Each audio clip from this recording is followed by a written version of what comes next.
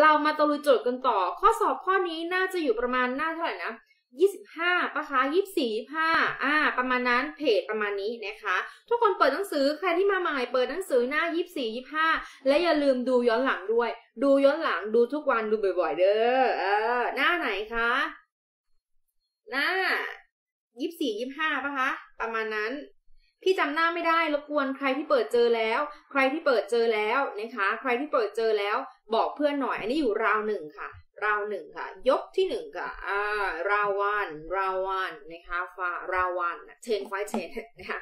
อะหน้ายี่สี่โอเค หน้ายี่สิบสี่ค่ะนะคะหน้ายี่สี่ราววันข้อที่แปดค่ะ หน้ายี่สี่ราววันข้อที่แปดค่ะ โอเค มาดู look at the test อ่ามาดูค่ะ look at the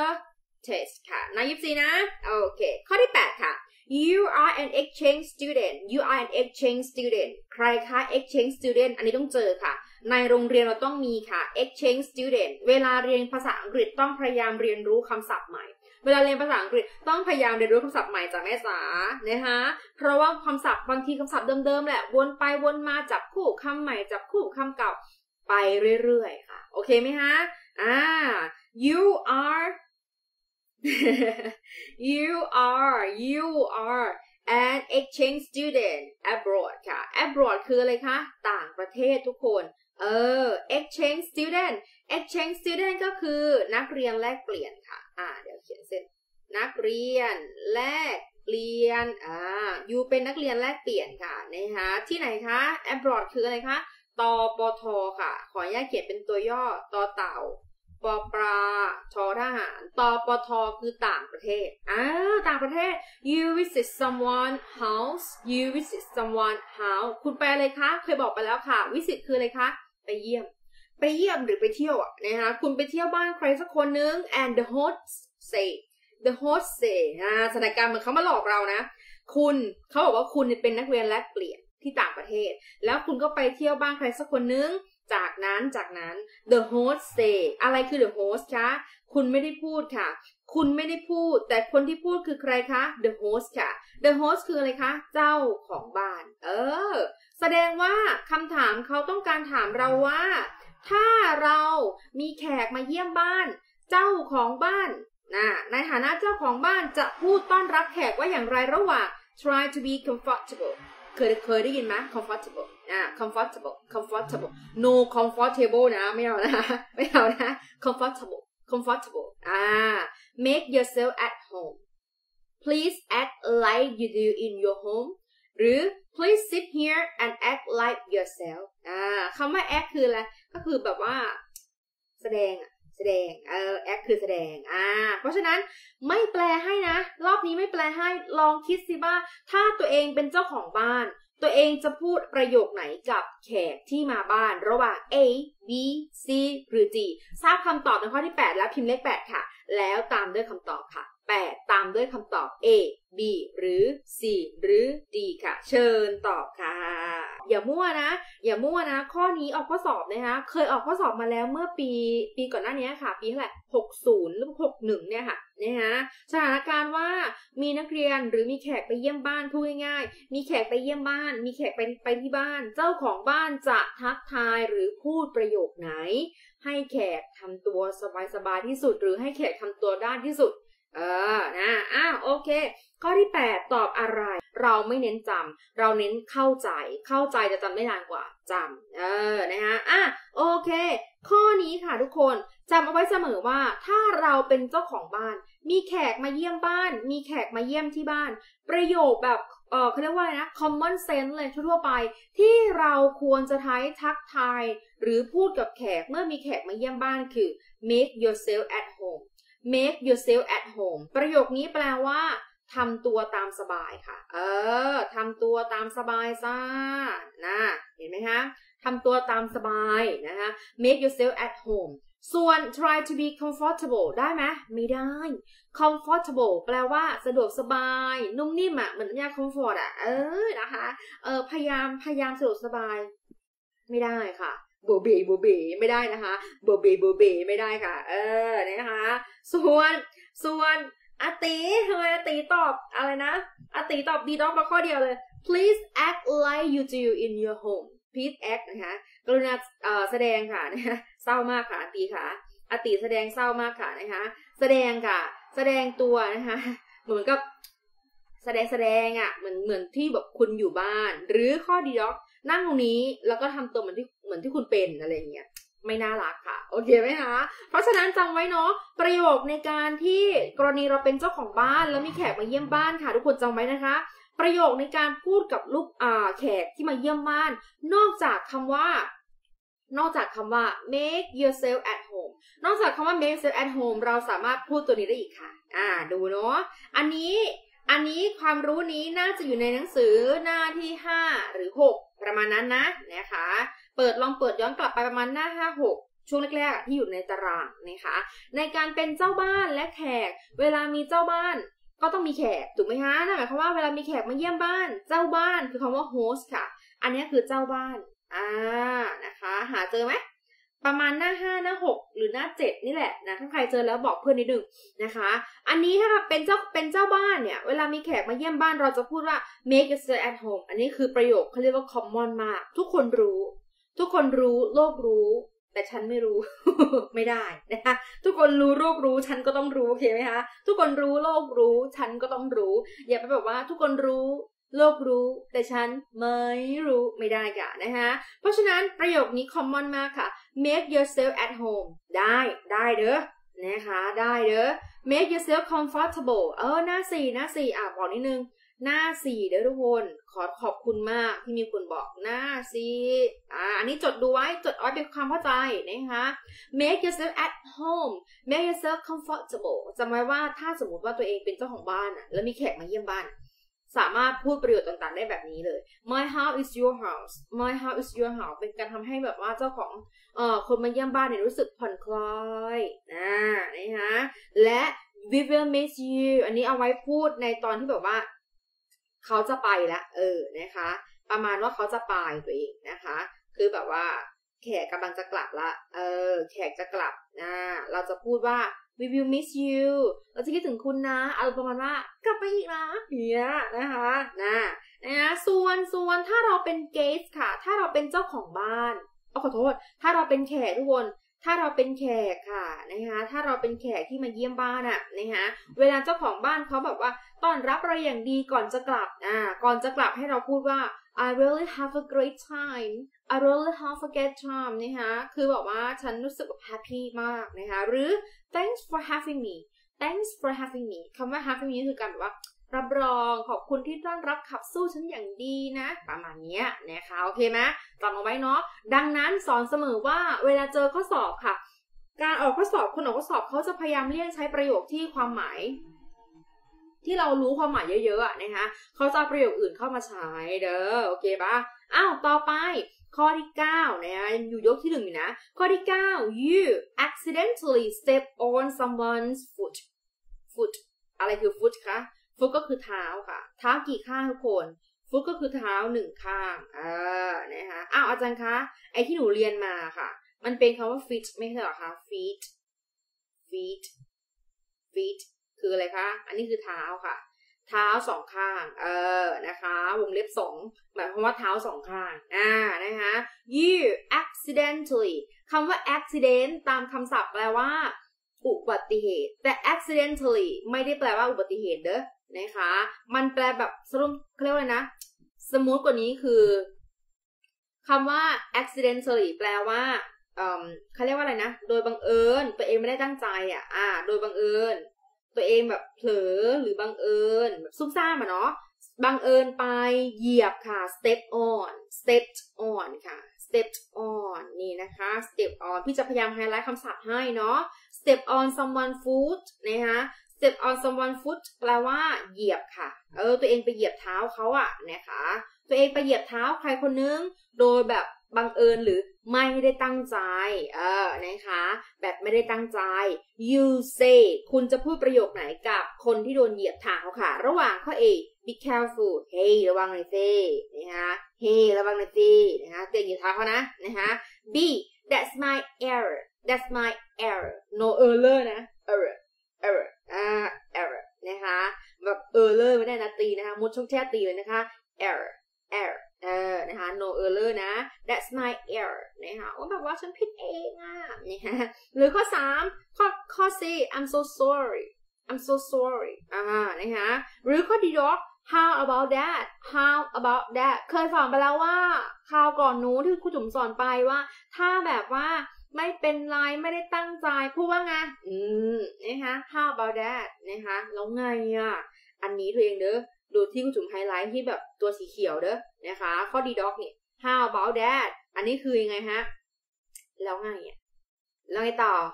อารมณ์เหมือนหาเรื่องอะเหยียดเท้าเขาแล้วหาเรื่องอันนี้ไม่น่ารักค่ะ ไม่น่ารักไหมดีไม่เอาค่ะ เพราะฉะนั้นข้อที่ 9 ใครทราบคำตอบแล้วพิมพ์เลข9ตามด้วยข้อคำตอบค่ะ A B C ค่ะ A B หรือ C คะ พี่ตัดดีด็อกออกให้เดี๋ยวน้องถือตอบค่ะ A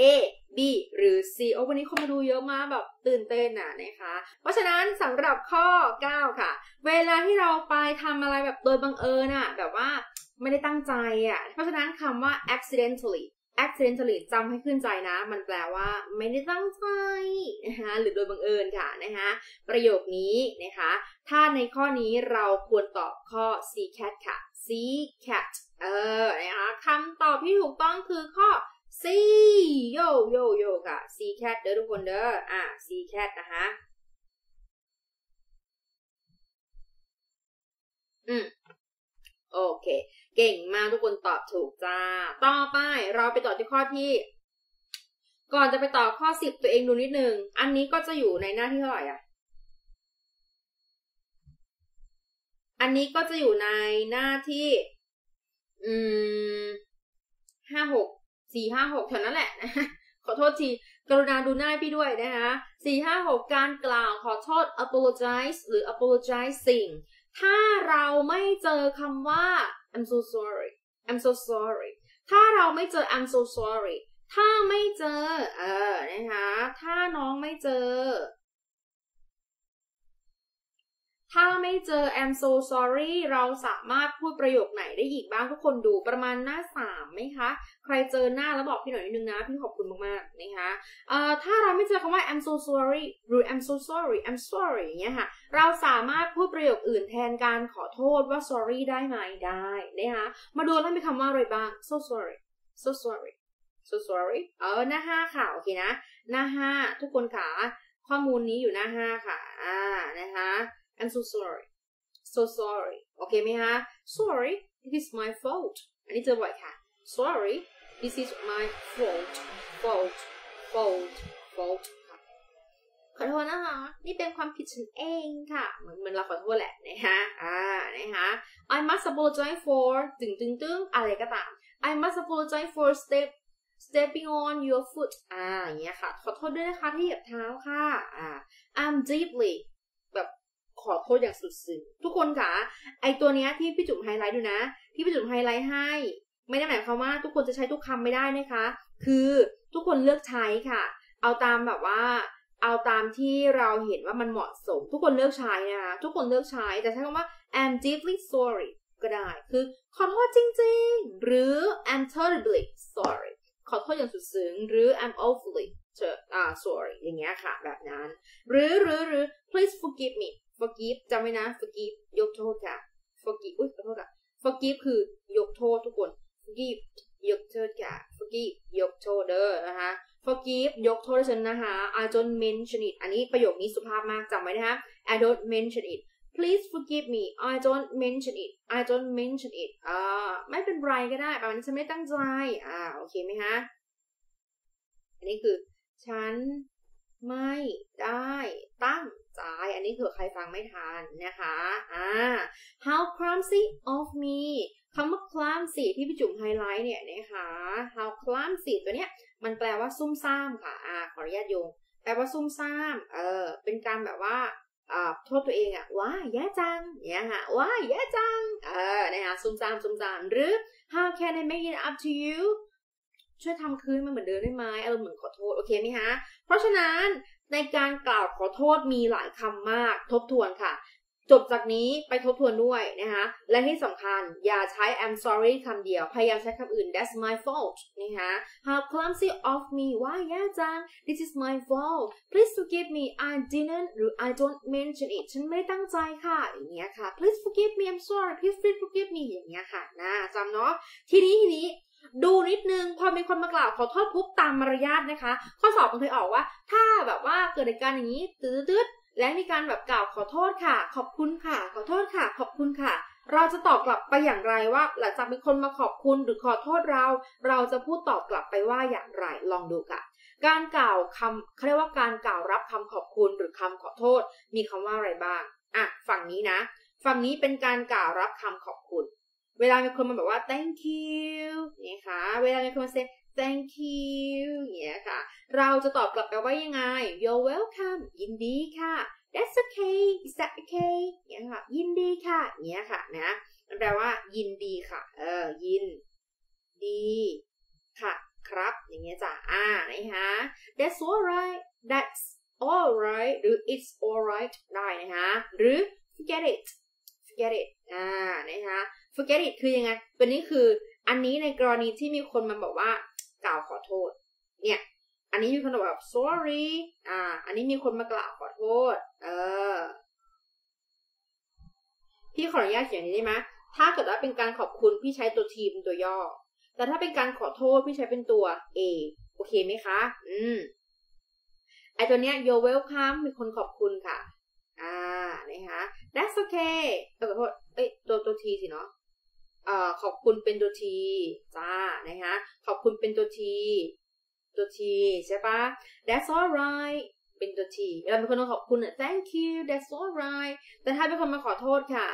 forget it ไม่เป็นไรลืมไปเถอะนะนะคะ don't mention it ถ้ามีคนมาบอกว่าขอโทษค่ะคำนี้ don't mention it ก็คือไม่เป็นไร หรือไม่ได้ตั้งใจประมาณนี้ค่ะนี่ค่ะถ้ามีคนมาบอกว่าเอ่อขอโทษค่ะ it's no trouble is no trouble ตัว A นะ ตัว A หมายถึงถ้ามีคนมากล่าวขอโทษ แต่ถ้าตัว T คือถ้ามีคนมา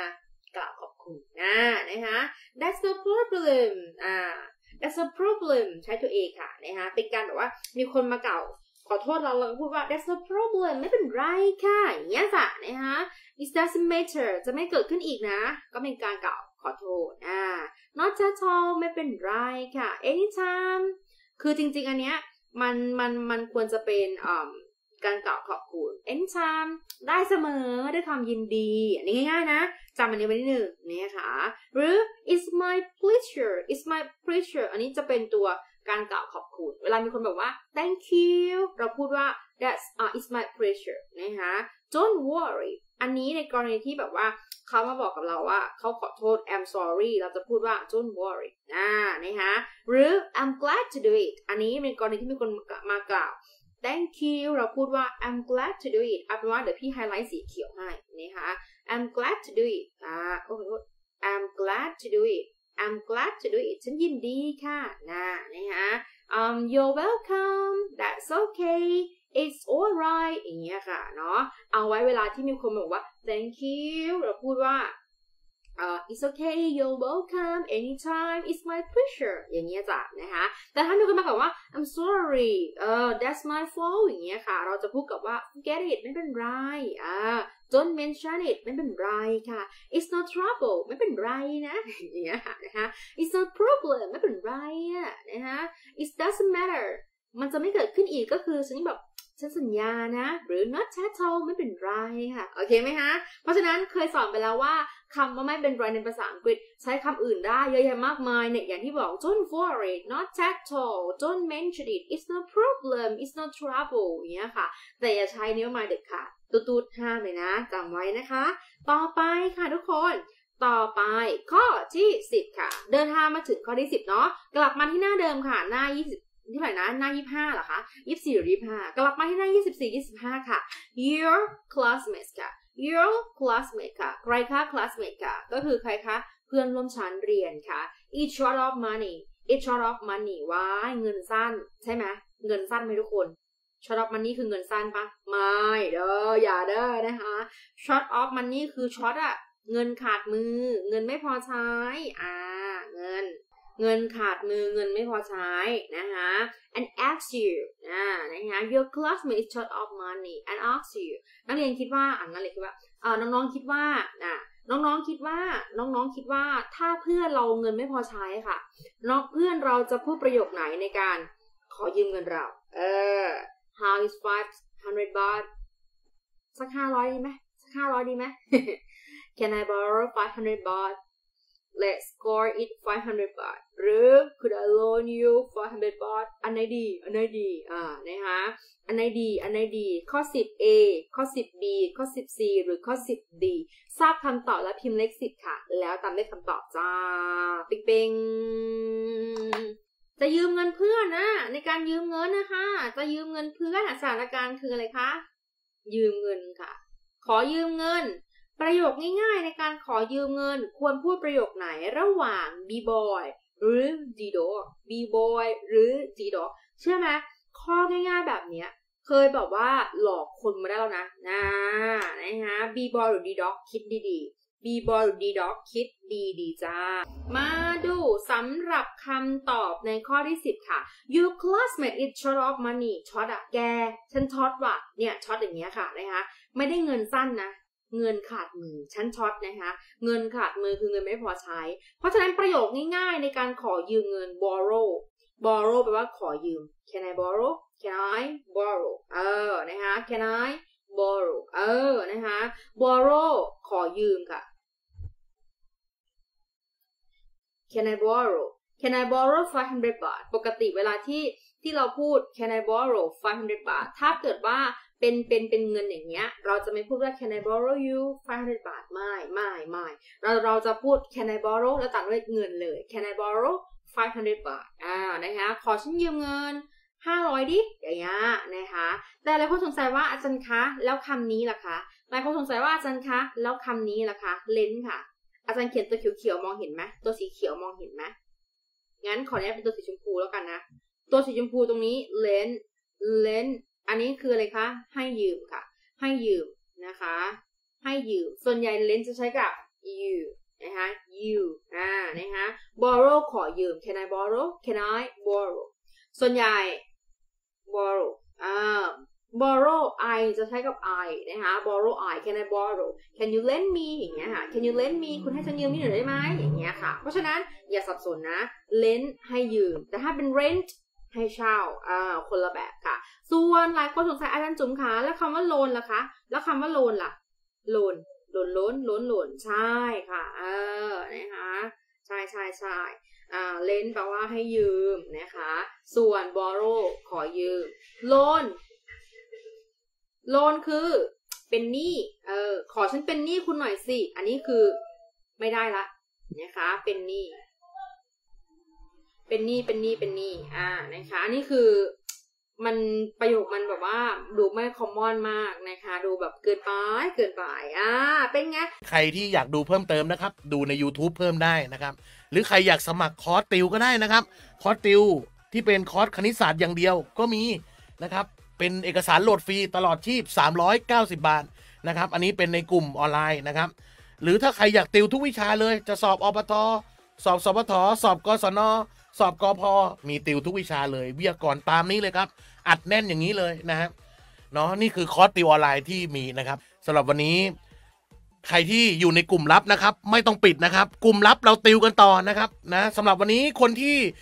อยู่ในเพจต่างๆนะครับ ก็สวัสดีทุกคนนะครับ อาจารย์แก๊ปขอยัดลาไปก่อนเดี๋ยวเราต้องไปติวในกลุ่มลับต่อนะครับ คนที่อยู่ในกลุ่มลับอยู่แล้ว เปิดค้างไว้เลยครับนะ สวัสดีทุกคนนะครับ สวัสดีครับ